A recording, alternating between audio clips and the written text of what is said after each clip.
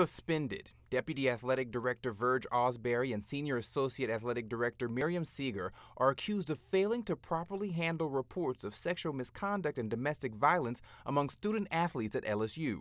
This after a 148 page report detailed accounts of several claims of misconduct. This is what we're dealing with an enormous public health um, problem, an enormous moral problem that has been horribly underreported. Scott Schneider is with the law firm behind the independent investigation. He presented his findings Friday at a Board of Supervisors meeting.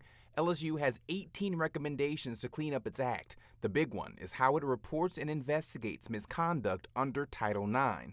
The report found the office was understaffed from the beginning. The leadership of the university uh, responded in a lackluster fashion. It was an 18, uh, they waited about 18 months uh, to provide a lead investigator, one lead investigator. The report also found mistakes made in student athlete cases were also made in cases with students who didn't play sports. Investigators did find the university's Lighthouse program and STAR are doing incredible work for sexual assault survivors. Can't understate the importance of having emotionally intelligent, trauma informed people who can provide um, support to victims of sexual violence and dating violence. And you all have that